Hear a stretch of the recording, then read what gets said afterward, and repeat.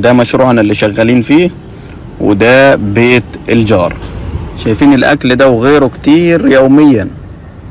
يوميا الجار يبعت لنا الغدا بشكل مختلف ومش بس الغدا كمان. ده ما بعد الغدا من شاي من حلويات من قهوة. جميع أصناف الأكل كل يوم توصل عندنا الموقع.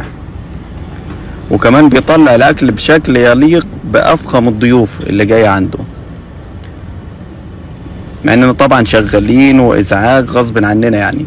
ولكن آه، الجار يوميا يوميا بيطلع لنا أفخم الأكل اللي موجود عنده. وده طبعا أنا إيه عامل حتة اكشن كده إن أنا بشرب القهوة ومستمتع يعني. هو العبرة في الموضوع إن الجار ما يعرفش المالك ولا المالك اللي إحنا شغالين معاه يعرف الجار نهائيا ولا شافوا بعض. فده خير مثال فعلا إن الدنيا لسه بخير.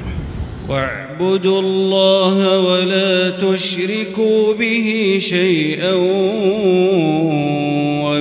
وبالوالدين إحسانا وبالوالدين إحسانا وبذي القربى واليتامى والمساكين والجار ذي القربى والجار ذي القربى والجار الجنب والصاحب بالجنب وابن السبيل وما ملكت أيمانكم إن الله لا يحب من كان مختالا فخورا